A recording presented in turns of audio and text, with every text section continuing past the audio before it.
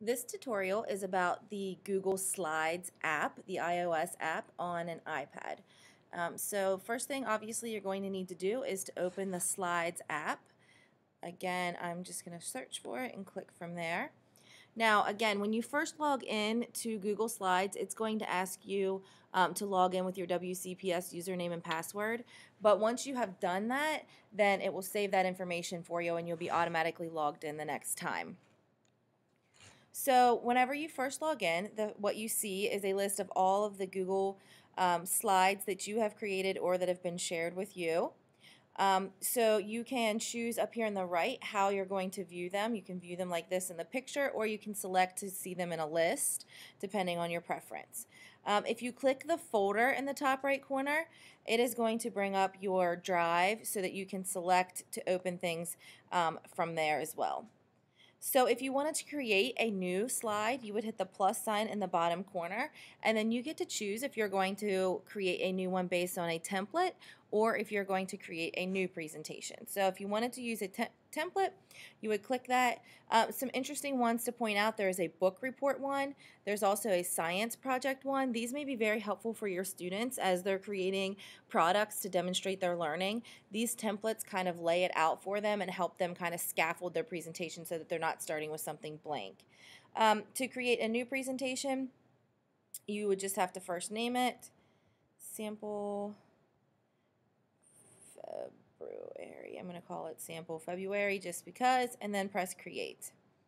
Now, once you create, you have lots and lots of options very similar to what you have on the website. It's just laid out a little bit differently. The three dots in the top right corner are going to give you your um, details about sharing, um, or your speaker notes. So first of all, sharing here you can um, add someone by typing in their user or their yeah their username, basically their Google five and three um, email address. Uh, you can also copy the um, link to the keyboard. So that's very helpful. A lot of times I will do that. And then once it's copied to the keyboard, that, then you can um, paste it into an email and such.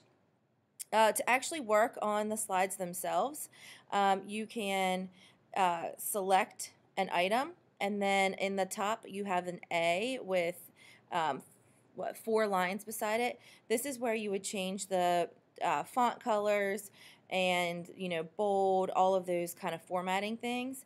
Um, you can also find your um, left align center align all of those things here as well as your line spacing. And then you can change the color of the shape um, here as well so that's kind of where all that stuff happens if you need to add something new to your um, slide you hit the plus whoa whoops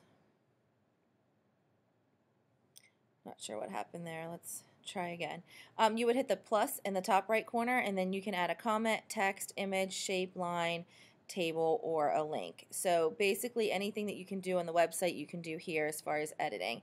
Um, in the bottom left corner you can add a slide. It gives you the option to add any of the slide slide templates um, again that are available on the website. So uh, you know you can kind of set it up or you can do a blank one.